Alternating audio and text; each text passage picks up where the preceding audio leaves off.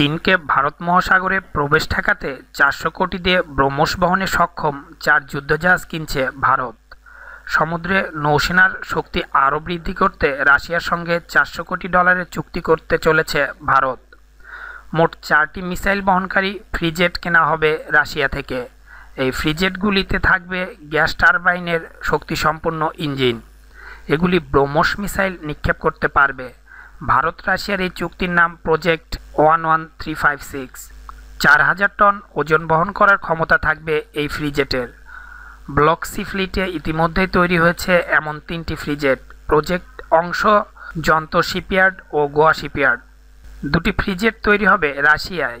বাকি দুটি রাশিয়ান প্রযুক্তির সাহায্য নিয়ে তৈরি হবে ভারতের গোয়া শিপইয়ার্ডে।